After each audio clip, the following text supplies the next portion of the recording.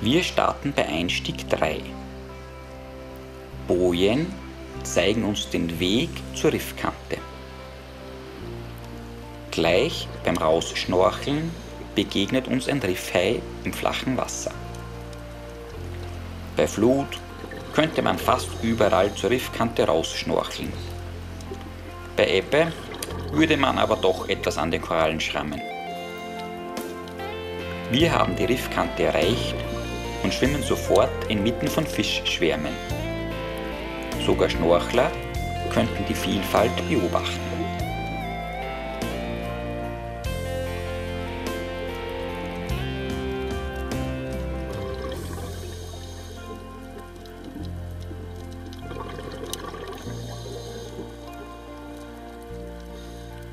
Nachdem wir kurz die Schwärme beobachtet haben, tauchen wir die Steilwand ab. Reti Beach hat an der Westseite eine durchgehende Steilwand. Im Süden reicht diese bis knapp an 30 Meter Tiefe. Je weiter nördlich man kommt, geht es noch ein paar Meter tiefer. Die Einstiege sind circa alle 200 Meter markiert. Beginnend mit Einstieg 1 ganz im Süden sind diese im Uhrzeigersinn weiter nummeriert. Einstieg 2 oder 3 mittig von Reti Beach haben sich als die besten Einstiege erwiesen. Wir starten meist bei der Nummer 3, da hier der Gehweg zur Basis am kürzesten ist. Zudem haben wir die Wahlmöglichkeit, die Tauchrichtung in Abhängigkeit der Strömung zu bestimmen. Meist tauchen wir einen Tauchgang lang nur von einem Einstieg zum nächsten. Wir hatten aber auch Tauchgänge, bei denen wir von Einstieg 3 bis an die Nordspitze bei den Wasserbungalows zu Einstieg 4 in 30 Minuten getaucht sind und dann mit der Strömung in 25 Minuten wieder bei Einstieg 2 bei der Sunset Bar rausgekommen sind.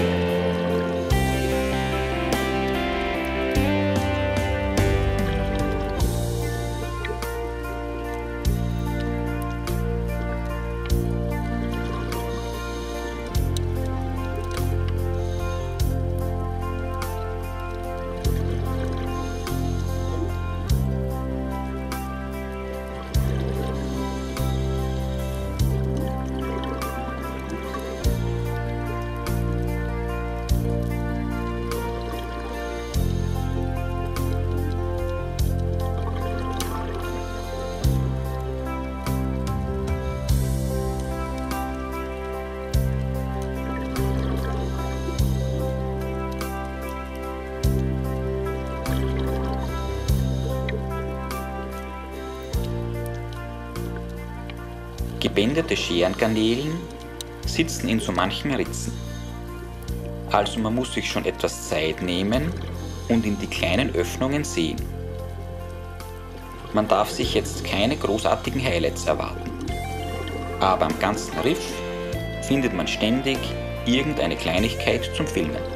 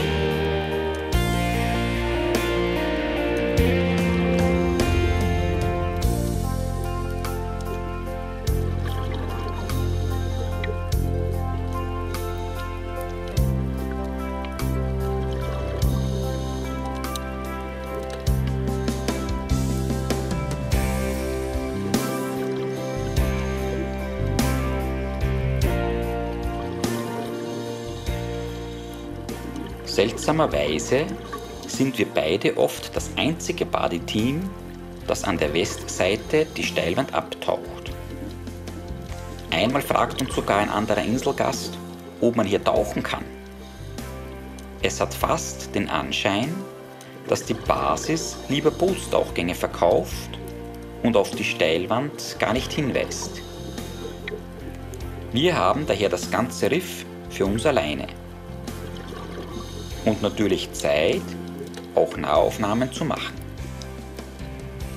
Man merkt, dass hier generell wenig Taucher unterwegs sind. Die Fische sind noch scheuer, als man das von anderen Riffen gewohnt ist.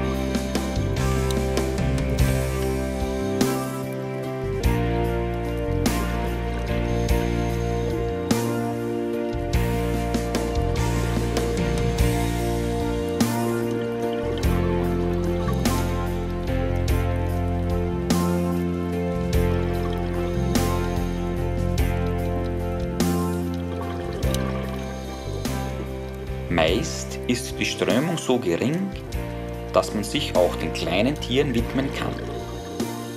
Mit ausreichend Licht kommen auch die Farben gut zur Geltung. Manchmal hätte ich dennoch gern eine stärkere Lampe. Lediglich der Preis und das Transportgewicht hält mich immer wieder von einem Kauf ab.